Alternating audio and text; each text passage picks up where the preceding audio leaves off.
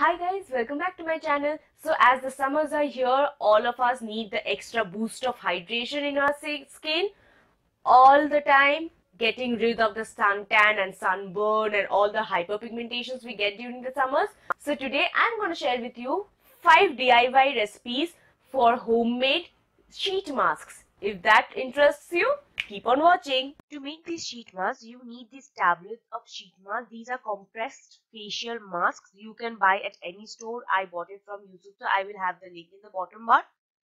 And the first sheet mask is going to be the aloe vera and rose water sheet mask.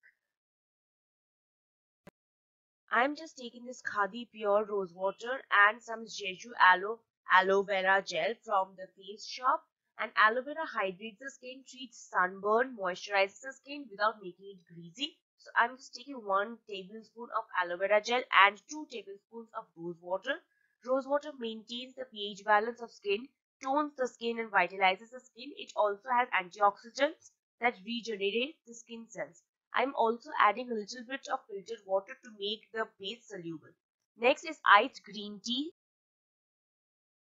Green tea, of course, you know, it's really good for your skin. It, it is rich in antioxidants and ice green tea is my favorite drink for the summer.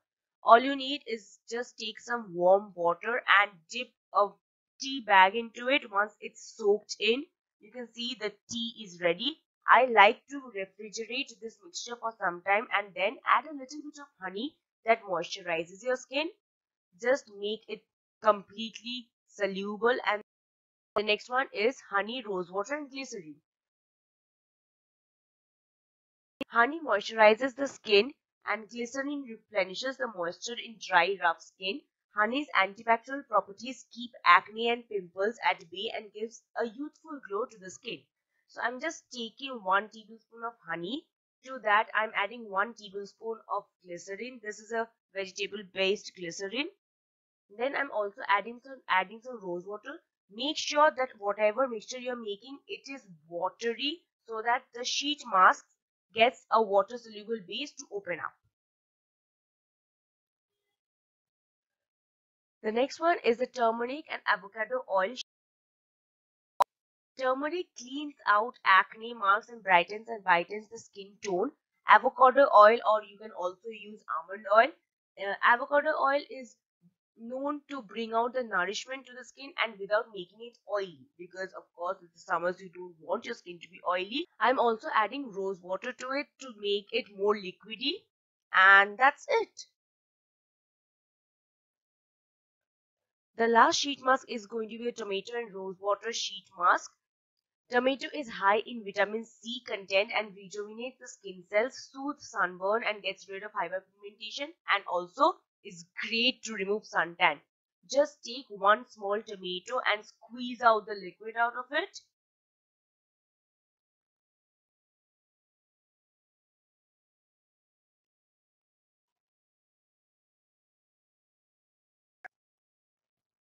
Then to it add some uh, almond oil and rose water. Almond oil will make the sheet mask more moisturizing. If you want to skip it of course it's very optional but i like my sheet mask to be a little more moisturizing. Then choose the kind of sheet mask you want to apply. Today i wanted to have a little ice green tea and as you can see the sheet mask just opens itself up in a watery content. So that's why make the mixture as watery as you can I like to keep this compressed sheet mask inside the serum for about 15 minutes in the refrigerator to cool it down and once it's done I just take it out. Of course it's dripping wet. Make sure that you are wearing not so good clothes because as it is DIY sheet mask it is going to drip a bit. But as you can see it's perfect. Like I love making my own sheet masks at home. They are so so budget friendly. I love it